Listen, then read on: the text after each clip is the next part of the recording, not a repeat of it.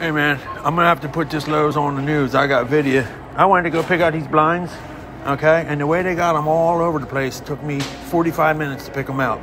It's not just us, it's people move them all over. the Oh my. God! Now I end up missing. It's all over the whole store. It happens Well- all, the, all the time. Well, now I missed my doctor's appointment and they're billing me $35, so I'm putting Lowe's on the news. All right, and I went over there and I took video so they can see all the blinds is all over the place.